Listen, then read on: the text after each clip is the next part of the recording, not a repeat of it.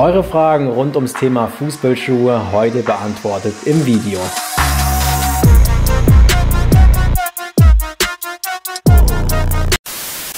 Peace Leute, was geht ab? Willkommen zu einem neuen Format hier auf eurem Fußballschuhkanal Nummer 1 und zwar ein neues Format, in dem ich eure Fragen zum Thema Fußballschuh beantworte. Das Ganze nennt sich Frag Ronaldo, kennt ihr vielleicht vom Zeitkanal. Nur hier geht es wirklich um das Thema Fußballschuh. Wir wollen eure Fragen beantworten, die sehr, sehr häufig gestellt werden zum Thema Fußballschuh, also euch da draußen helfen. Ich hoffe, das Ganze gefällt euch. Wenn ja, lasst einen Daumen nach oben da. Und jetzt aber ab in die erste Folge. Wer kennt es nicht? Ihr habt mal wieder im Internet einen Fußballschuh bestellt, wartet dann natürlich wieder gespannt, wann kommt er endlich an. Dann ist es soweit, man hat den Fußballschuh endlich zu Hause, packt ihn aus, findet ihn optisch extrem cool, zieht ihn dann an und merkt dann, oh, scheiße, das passt ja gar nicht, der ist ja zu klein. Genau das ist nämlich die heutige Frage für die erste Episode dieses neuen Formats. Und zwar geht es hier darum, was kann ich machen, wenn der Fußballschuh mir nicht passt, beziehungsweise wenn der Fußballschuh zu klein ist, wie bekomme ich ihn größer? Da muss ich mal ganz kurz dazwischen kretschen, ich habe es vergessen. Natürlich geht es auch um das Thema, was kann man tun, wenn der Fußballschuh etwas zu groß ist, sprich wenn mein Fußballschuh leicht rutscht und damit der Fußballschuh nicht passt. Das klären wir natürlich auch. Das haben mich sehr, sehr viele von euch gefragt und das wollen wir heute klären. Diese Frage bekomme ich nämlich sehr, sehr häufig gestellt und heute wollen wir das Ganze auch mal beantworten. Allgemein, was kann man tun, um den Fußballschuh größer zu machen, beziehungsweise welche Tipps gibt es, wenn der Fußballschuh nicht perfekt passt. Erstmal für die, die vielleicht neu auf diesem Kanal sind und das noch nicht kennen. Wir haben für euch extra eine Seite entwickelt, dein-fußballschuh.de. Dort könnt ihr nämlich herausfinden, welcher Fußballschuh passt denn eigentlich perfekt zu meinem Fuß, zu meinem Spielstil, zu meinen Vorstellungen. Dort könnt ihr quasi einen Fragenkatalog beantworten, dort eure Eingaben machen und am Ende von diesem Vorgang bekommt dann quasi ihr euren perfekten Fußballschuh vorgeschlagen oder eure perfekten Fußballschuhe und könnt dann da quasi den richtigen bestellen. Wir haben da auch ein richtig gutes Sale-Angebot und hier auch nochmal der Hinweis, falls ihr bei dein-fußballschuh.de einen Fußballschuh bestellt, der nicht passt, dann habt ihr natürlich die Möglichkeit, den Fußballschuh kostenfrei innerhalb von 14 Tagen zurückzuschicken. Sprich, ihr könnt den Schuh zu Hause anprobieren, wenn ihr merkt, okay, das passt nicht ganz, habt ihr die Möglichkeit, wieder zurückzuschicken. Das ist auch wirklich der Tipp Nummer 1. Wenn der Fußballschuh viel zu klein ist, wird sich hier leider nichts tun lassen. So viel muss ich schon mal vorweggeben. Es gibt natürlich gleich die Tipps, was man tun kann. Aber wenn der Fußballschuh deutlich zu klein ist, dann empfehle ich euch definitiv den Fußballschuh nach dem Anprobieren wieder zurückzuschicken, denn die meisten Online-Shops bieten das auch an. Sofern natürlich auch auf Fußballschuh im Originalzustand ist, das solltet ihr auch beachten. Den Fußballschuh als nicht auf den Fußballplatz einlaufen, dabei zu kicken, sondern einfach zu Hause anprobieren, im Originalzustand lassen und dann könnt ihr das Ganze auch meistens zumindest kostenfrei wieder zurückschicken, so wie auch bei uns bei dein-fußballschuh.de. Das ist also sehr, sehr wichtig auf jeden Fall und der einfachste Tipp, denn es ist natürlich klar, dass man Fußballschuh, der jetzt eine halbe Nummer kleiner ist, nicht direkt eine Nummer größer bekommt. Das ist ganz, ganz einfach gesagt nicht möglich. Nichtsdestotrotz haben wir für euch natürlich zwei Tipps am Start, die helfen. Falls der Fußballschuh nicht ganz passt bzw. Druckstellen hat, da gibt es auf jeden Fall Tipps aus dem Internet und die haben wir auch für euch getestet. Dennoch gibt es wie gesagt ein paar Tricks, um die Passform des Fußballschuhs zu verändern. Ich bin kein Riesenfan davon, aber viele schwören drauf und ich muss sagen, einer der beiden Tricks funktioniert auch sehr gut. Der andere ist auf jeden Fall Geschmackssache. Aber wir wollen das Ganze natürlich auch für euch testen. Ihr kennt es vielleicht aus den Boot-Hacks. Wir starten mal mit dem Trick, den ich tatsächlich auch sehr gut finde, aber bei dem man auch einiges beachten sollte.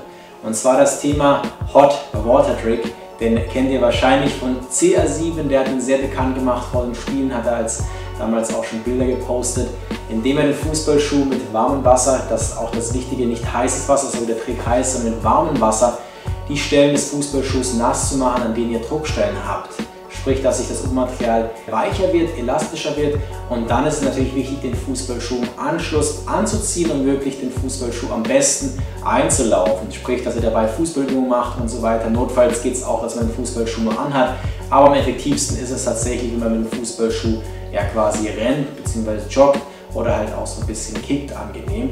Das hilft auch, dass die Einlaufphase des Fußballschuhs deutlich verringert wird aber es hilft natürlich nicht, den Fußballschuh größer zu machen, sondern dadurch werden natürlich die Druckstellen ein bisschen verbessert, dass das Obermaterial sich da in äh, der Position ein bisschen besser anpassen kann, dass die Druckstellen nicht mehr so durchkommen. Aber ich muss sagen, das funktioniert nicht an jeder Stelle des Fußballschuhs, ist aber auf jeden Fall ein Notfalltrick, falls nichts anderes hilft, ein bisschen besseren Komfort hat, als es vorher der Fall war. An dieser Stelle hake ich mal ganz kurz ein und zwar wollen wir natürlich auch klären, was kann man tun, wenn der Fußballschuh etwas zu groß ist, sprich wenn man innerhalb vom Fußballschuh leicht rutscht. Da gibt es einen sehr, sehr simpler Trick und zwar das Ganze nennt sich natürlich Gripsocken. Ich hoffe, die meisten von euch kennen es schon, denn es bringt nicht nur, wenn der Fußballschuh etwas zu groß ist, sondern auch generell, um den Lockdown innerhalb des Fußballschuhs einfach nochmal zu verbessern.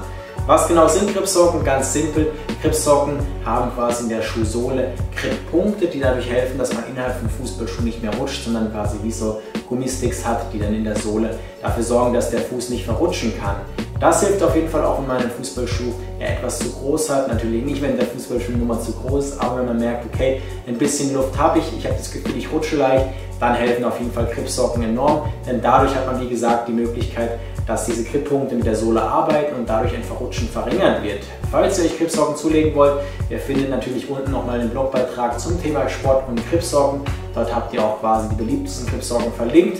Wir haben auch schon ein Video dazu gedreht, könnt ihr auch gerne mal abchecken. Das ist auf jeden Fall ein simpler Trick, der hilft wirklich, das Thema Lockdown zu verbessern und falls der Fußballschuh etwas zu groß ist, das zu beheben. Trick Nummer zwei, den man im Internet auch sehr, sehr häufig findet, ist das Thema Kühlschrank. Klingt jetzt erstmal komisch, aber ihr habt es vielleicht in der Bootleg-Folge schon gesehen. Und zwar äh, schwören viele darauf, dass man einen Beutel voll mit Wasser macht und dann quasi diesen Beutel voll Wasser im Fußballschuh verstaut, dass es quasi alle Ecken und Kanten ausfüllt und dann über Nacht im Gefrierfach lässt. So weitet sich das Obermaterial und dadurch ähm, quasi der Fußballschuh etwas breiter wird.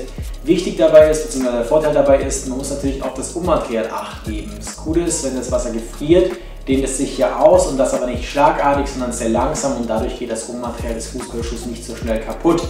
Hier kann man auf jeden Fall erreichen, dass der Fußballschuh etwas breiter wird, etwas größer ist vielleicht übertrieben, aber es passt sich noch ein bisschen an, falls man wirklich äh, ein klein bisschen zu wenig Platz im Fußballschuh hat. Aber auch dieser Trick hilft natürlich nicht, um den Fußballschuh eine halbe Nummer größer zu machen. Das ist äh, nahezu unmöglich. Ihr habt also gehört, es ist leider nicht möglich, den Fußballschuh unendlich größer zu machen. Das ist auch logisch, denn der Fußballschuh muss natürlich auch Stabilität bieten.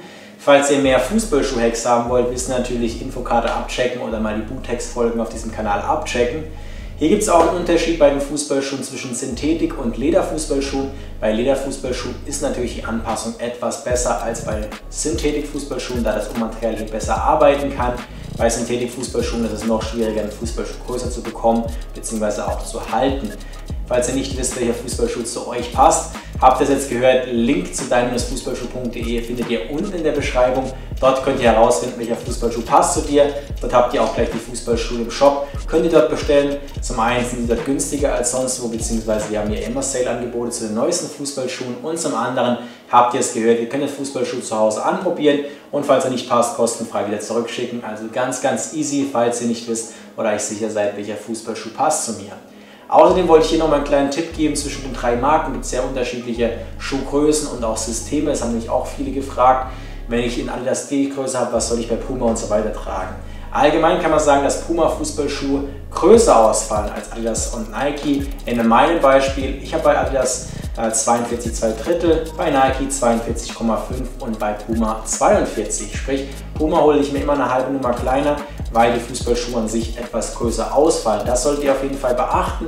Außerdem, falls ihr einen Fußballschuh für breite Füße, für schmale und mittlere Füße sucht, wisst ihr natürlich bei dein-fußballschuh.de habt ihr die Möglichkeit, eure Fußform äh, quasi zu filtern und damit, und damit nur die Fußballschuhe quasi als Empfehlung zu bekommen, die auch zu eurer Fußform passen. Das ist auch sehr, sehr wichtig, dann habt ihr auch keine Probleme und müsst diese Tricks gar nicht anwenden. Das soll aber tatsächlich die erste Folge gewesen sein. Bin sehr gespannt auf euer Feedback, ob das Ganze häufiger kommen soll, denn diese Woche bzw. nächste Woche wird es dann auch noch ein neues Format geben, sprich das erste von zwei neuen Formaten hier auf dem Fußballschuhkanal Nummer 1. Das war es auch schon wieder mit dem neuen Format. Ich hoffe, das Ganze hat euch gefallen. Wenn ja, zeigt es mit einem Daumen nach oben. Und natürlich, falls ihr eine Frage habt, gerne schon mal einen Kommentar da lassen. Vielleicht seid ihr dann in der nächsten Folge am Start. Genauso gerne Feedback da lassen. Gefällt euch das Ganze? Wollt ihr sowas häufiger sehen? Oder sagt ihr nein, lieber wieder zurück zu den anderen Videos? Würde mich auf jeden Fall interessieren. Wir probieren das Ganze mal aus. Ich denke, es ist auf jeden Fall nützlich. Bin aber natürlich auf euer Feedback gespannt. Das soll es zum neuen Video gewesen sein. Diese Woche kommen noch Special-Videos. Seid auf jeden Fall gespannt. Diese Woche wird es endlich soweit sein, dass mindestens eins davon kommen wird. Also falls ihr nicht verpassen wollt, Glocke aktivieren. Bis dahin Leute, macht's gut, haut rein und ciao.